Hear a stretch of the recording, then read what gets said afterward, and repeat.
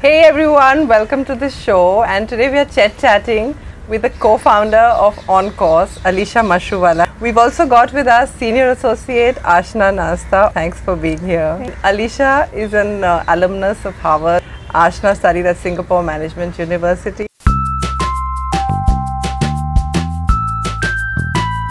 OnCourse actually started about six years ago, and there are five of us co-founders who've been working on, you know, this lovely venture. And we describe ourselves as a creative education company because we like to do various different things within this space. So we started off more as you know college counseling and consulting for students who wanted to go abroad. Now we've kind of branched more into also vocational training or little things like you know finance for teens or communication for teens or even like a young women's entrepreneurship program that we run. Wow. Uh, so our whole idea is to kind of fill the gaps in the education industry in India, and that's kind of how we're trying to do it to teach students and to teach people things that they need to know beyond just school. Okay, so it's much more than a counseling Much more than unit, yeah? counseling, yes, absolutely. Sounds fabulous.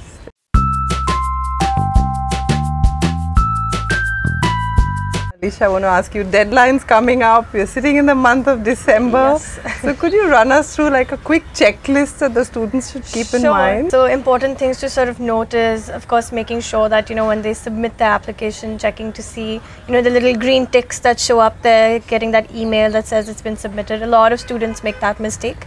Not waiting for the email. Just submitting the application and realizing that there is a section that is left to complete. so Oh, that's an important aspect. Okay. Uh, then, of course, the test scores. So making sure that the test scores are being sent directly from uh, the testing agency. So if it's the TOEFL or IELTS or SAT or ACT, making sure the scores are going from there. And then, of course, the essay. So they need to make sure they've read the essay once before submitting the application to check for typos and making sure there's no like little errors. Right. Uh, and I guess the last two big components, which is make sure the transcripts are submitted from the school, and make make sure the teacher recommendation letters Yeah, are submitted yeah, from the school. yeah. So those are all important aspects that go into the application, especially now in crunch time. Yeah. Yeah.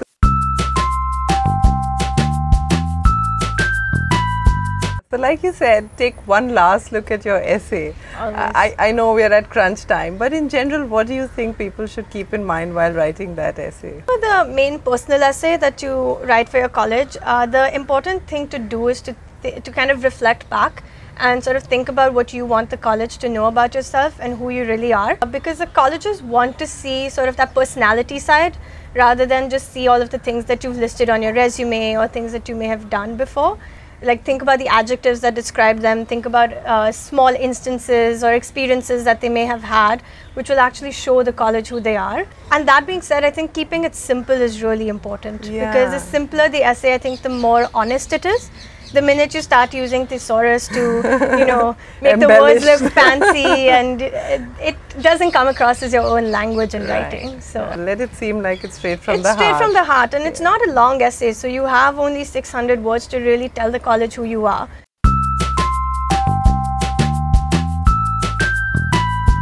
Alisha, one of the questions I get asked a lot is how many colleges should we be applying to? So I think most schools do have a limit to the number of colleges they have their students apply to, but at the same time, we believe about 10 to 12 is a good number. Okay. And that's primarily because it gives you enough free range to, you know, apply to some colleges that you've always dreamt of going to uh, versus some colleges which are more in your target range. And then just having that cap- couple of backup options that you need to Right, have over there. right. So I would say a golden number is between 10 and 12. Okay, so roughly three to four. I would say around three dreams is a good number to have. Uh, about you know six targets and then a couple of backups is a good option. Yeah.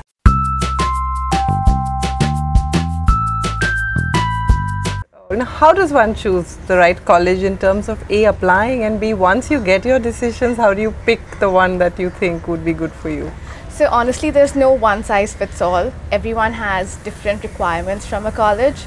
And since you have the option of choosing 10 to 12 colleges, it's good to know what you want from a college. So do you want to be in the city? Do you want a campus? Do you want a small college, big college? Of course, you can apply to a variety of them. And then once you have the decisions in hand, you can see where you, where you think you'll be happiest for four years. Where you think college is actually going to make a difference to your life. So I know some kids like to be in a small, quaint environment. They'll choose a typical liberal arts college. Some kids like to be in the middle of 40,000 other students. so they'll choose the larger state colleges. So there's no right or wrong choice over there. Sure, sure. And one of the missing elements in our uh, knowledge base is which are the good small colleges because we seem to know the big ones quite well. There are so many of them actually, whether you look at like an Amherst Williams or a Claremont College like Claremont McKenna, Pomona, or even the more popular ones these days like a Wesleyan, a Wellesley, Pitzer. There are so many of them, so there's no limit on the number of small colleges.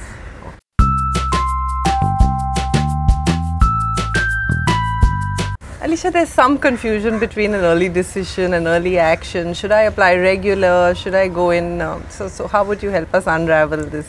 Uh, so there's well three major kinds of uh, application times that you have. One which is an early decision, one which is early action, and the other which is your regular decision. So an early decision and an early action application would go at beginning of November. Right. So that's quite early in the entire process. And you hear back from most of the colleges in middle of December. That's typically what Okay, happens. So yeah. uh, you probably have heard back already. um, and the regular decisions go out in January. 1st of Jan is typically the deadline.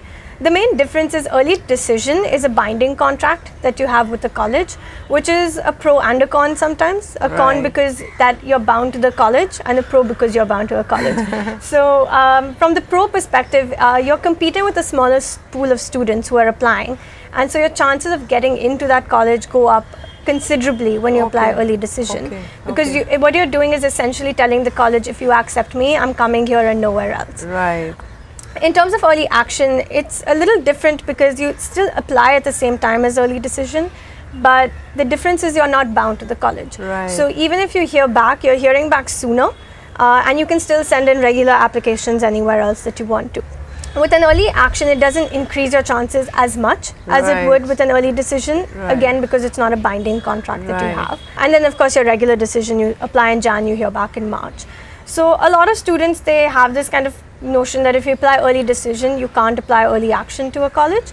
So Okay. that's actually not true. So if you apply early decision, you can apply early action to another college as well. Okay. The only catch to that is if you get into your early decision school, you have to withdraw your application to the early action place. All right. Yeah. All so right. it's good because for students who've actually prepared in advance, uh, it does give them a boost, and it's also the mental aspect of okay, getting a couple of applications out of the way earlier rather than too late in the process. Sure, sure.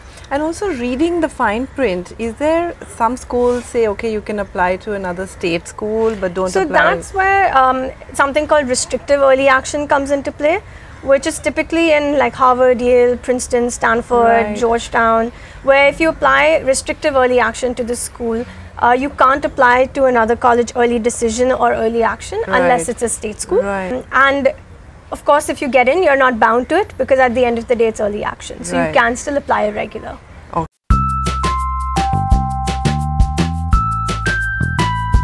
Asha, the SAT format is all set to change. And would you decode that for us, please? Sure. So the SAT is actually changing early next year. So in the US, the first new SAT's going to be out in March, and we're going to have the first new SAT year in May. And the SAT is moving back to the 1600 system, Okay. where they're going to have an equal weightage on uh, math and English. Okay. So instead of having 1600 points on English and 800 math, we now have 800 for math and 800 for English. But that doesn't mean it's reducing the amount of work we do. We need to do for the SAT. It's still the same. You still have to prepare uh, your math. You still have to prepare your critical reading. You still have to prepare your writing, and of course, there's the essay. So earlier, the essay used to be a part of the writing section Right, of the SAT, right. and now the essay is going to be a separate score. So you're going to get a score on 1600 and then an additional score for the essay. Okay. And another interesting thing is that SAT's also starting a non-calculator math section, Super. and they're also introducing some more complicated math topics. Okay. So actually, it's going to be more in favor of those who are good in math versus those who used to be good in English. So yeah, we're moving closer to the ACT actually. Okay, so that brings me to my next question. Is there a recommended test that someone should take SAT versus ACT? So all the colleges accept both uh, ACT and SAT equally. There's no college that gives you a preference for one over the other. So it's basically where you think you'll score better. So one good way of finding out is doing a diagnostic test of both the tests. And seeing where your natural aptitude lies. Okay. So there is a scale that converts the SAT score to the ACT score, so you know where you are better performing. right. And in general, the ACT has a bit more of. So the ACT has a science section as well. So normally kids who are better in science did better at the ACT. All right. But now with the new SAT coming up, we really can't make that assumption anymore. Sure. You want to sort of run through one cycle Yeah. before you figure out. There's this notion that the Ivy Leagues uh, prefer the SAT over the ACT. How true is this? Um, I wouldn't say it's true. At, I would actually say it's not true because uh, we've seen a lot of our ACT kids get into some of the best universities. So whether it's your Ivy Leagues, whether it's a Stanford, UC Berkeley, everywhere. So it's equally accepted by all the colleges. Sure, sure. And talking about the SAT 2, that remains as it is. So there are some colleges that say if you're doing the ACT, you don't require the SAT 2. Oh, okay, Namely okay. because the ACT also has a science section. Okay.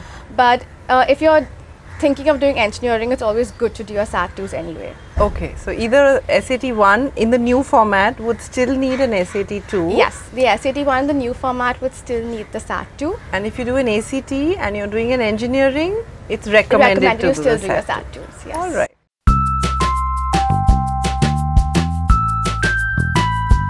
Alisha, before we wrap up, let me ask you what is it that a student should not definitely do on the application? One thing for sure is when you're submitting an application, the student should submit it themselves. There have been cases where, you know, there's a signature section and the parent has signed because they've been submitting the application. that should definitely not happen. Sure. There's also been cases where, you know, sometimes you don't read your essay again and, you know, you might put, you know, Emory in a Brandeis essay or Brandeis in an Emory essay, which is also probably not a good No, idea no. for the college. and, you know, if you're emailing a college, make sure you write the right name and the right uh, person that you're addressing it to. I've had a couple of cases in the past where like students have been trying to email like coaches for a particular sport and have written the wrong coach name with the wrong college name. So just oh dear. just go through that a couple Oh, of times. So just don't make silly mistakes like that. Uh, try and do your stuff on your own. That's what I always tell students. It's at the end of the day your responsibility and your application. Okay, I think that that's key. Some of these things. always. yeah. Yeah, but thank you so much for being on the Thank show and so much sharing for having us. us. Yes. Please click the subscribe button below. Like me at facebook.com slash chetchat101. Follow my Twitter handle chetchat101 or at Instagram chetchat101. Please leave your comments in the sections below. And if you'd like me to feature any particular college, please let me know. Thank you.